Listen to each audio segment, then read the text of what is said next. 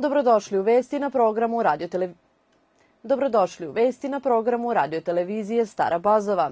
Sukob Izraela i palestinskog Hamasa i nasilje koje je do sada odnelo više od hiljadu i po života ušlo je u četvrti dan, a izraelska vojska danas je saopštila da izvodi masovne udare na mnoge lokacije islamista u pojasu Gaze i da će uskoro saopštiti detaljnije o tim napadima.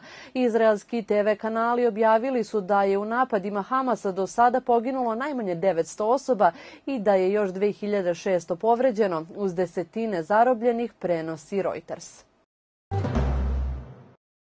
Ministar spoljnih poslova Ivica Dačić izjavio je danas da je Srbija preduzela sve mere da srpski državljani koji žele da se evakuišu iz Izraela to mogu da urade i pozvao građane da se obrate ambasadi Srbije u Izraelu kao i Ministarstvu spoljnih poslova. Srbija je istoga dana osudila terorističke napade Hamasa na Izrael i saoseća se sa narodom Izraela, rekao je Dačić.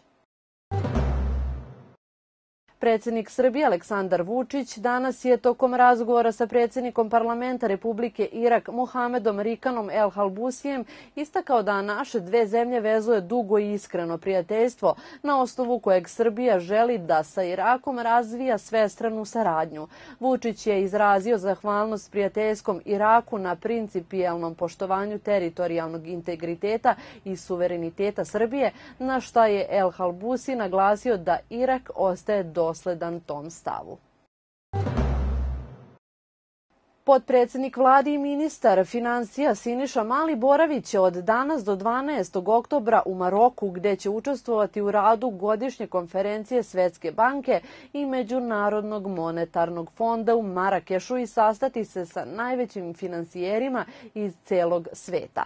Potpredsednik vlade Srbije će učestvovati na okruglom stolu sa najvećim investitorima iz celog sveta koji ulažu u obveznice Republike Srbije i predstaviti im postignute rezultate, makroekonomske pokazatelje i drugo. Glavni tužilac Višeg javnog tužilaštva u Beogradu Nenad Stefanović izjavio je danas da je Višem sudu u Beogradu predata optužnica protiv Vladimira Kecmanovića, oca maloletnog KK, koji je 3. maja izvršio masovno ubistvo u osnovnoj školi Vladimir Ribnikar, zatim protiv majke KK Miljane K, kao i protiv predsednika streljačkog kluba Partizan Ratka I i instruktora u tom klubu Nemanje M. U obraćanju javnosti Stefanović je rekao da je tužilaštvo preporučilo sudu da potvrdi optužnicu i da nakon glavnog pretresa optužene proglasi krivim i osudi ih na maksimalne kazne. Vladimira Kecmanovića na 12 godina zatvora, Miljanu K. dve godine i šest meseci, a predsednika streljačkog kluba i instruktora u tom klubu na kazne zatvora od po tri godine.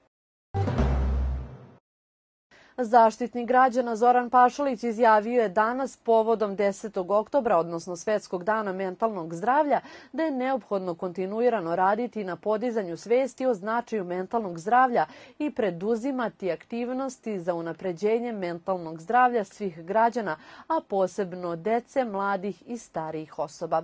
Osobe sa intelektualnim i mentalnim teškoćama predstavljaju ranjivu i u velikoj meri stigmatizovanu i marginalizovanu društvenu društvenu grupu, zbog čega zaštitnik građana posvećuje posebnu pažnju zaštiti njihovih prava. U tom smeru smatram da je neophodno naprediti postojeću organizaciju zaštite mentalnog zdravlja, rekao je Pašalić. Nacionalna služba za zapošljavanje raspisala je danas javni poziv za realizaciju programa posticanja zapošljavanja mladih Moja prva plata, koji će biti realizovan kroz četiri faze. Prva faza je namenjena isključivo poslodavcima koji će od danas do 31.10. moći da se prijave, navodi se u saopštenju. Druga faza namenjena je nezaposlenim licima koje će za učešće u programu moći da se prijave od 6. do 24. novembra navodi se na sajtu.